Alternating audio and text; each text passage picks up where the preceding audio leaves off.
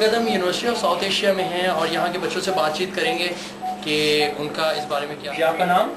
एक बार हेलो। हाँ कौन सी डिपार्टमेंट है? ये हाँ? ये हम वो शो करें कि जो लोग यूनिवर्सिटी पढ़ने आते हैं और फ़ोन पे लगे रहते हैं। नहीं आप फ़ोन छुपाए ना आप देख लिया आप कवर हो गया मैं तो आप यूनिवर्सिटी में कौन सी यूज़ करते हैं? वो मैं नोट अच्छा नोट्स दे रहे थे ही। ही ही नोट्स दे रहे यूनिवर्सिटी में पढ़ने आते हैं और फ़ोन पे लगे रहते हैं वालदेन की आँखों में। धूल देखें ये बच्चा घर से माशाल्लाह पढ़ने आता है। इसके वालदेन ने इससे बहुत सी उम्मीदें लगा रखी हैं कि बड़ा होकर इंजीनियर बनेगा। लेकिन ये यहाँ पे तो कुछ और इंजीनियर.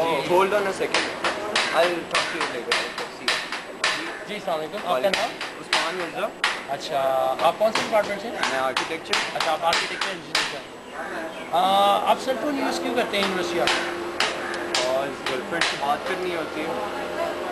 गर्लफ्रेंड से बात करते हैं यानी आप ये कहना चाह रहे हैं आप अपनी मामा पापा का काम आसान कर रहे हैं। ऑब्वियसली उनको परेशानी होगी लड़की ढूँढने में ऑब्वियसली यहाँ पे लड़कियों की कमी है इसकी वजह ऑब्वियसली यहाँ पे लड़कियों की कमी है। तो हमने एक सीन कैप्चर किया अब कुछ नज़र लड़कियों पे भी डालते हैं जी अस्सलाम वालेकुम।